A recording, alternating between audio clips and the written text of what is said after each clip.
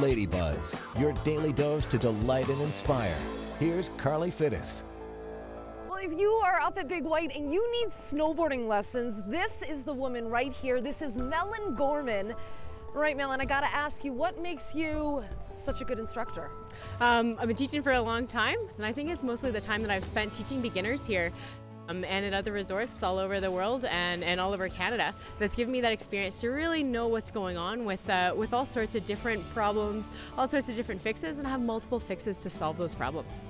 A lot of what I do too is instructor training. So I'm working with other instructors to make them better and then make them better at going out and teaching adults and kids.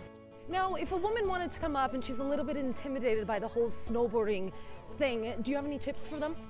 with our with our girls coming Yeah. up, uh, definitely come on up and take a lesson. Get yourself going right from the get-go, and I'd strongly suggest you ask for another female instructor.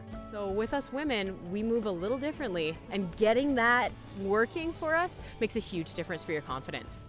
You recently won an award. Let's brag about that for a second. All right. we? yeah. So, uh, so I was nominated as Cass- CASI's National Evaluator of the Year. Cassie is the Canadian Association of Snowboard Instructors. Uh, I ran a lot of courses, uh, four different provinces. I ran 16 courses last year. Uh, kept me traveling a lot.